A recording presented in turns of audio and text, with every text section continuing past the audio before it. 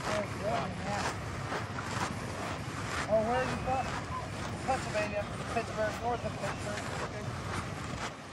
Yeah, my wife grew up in Bridgeville. Where? Bridgeville.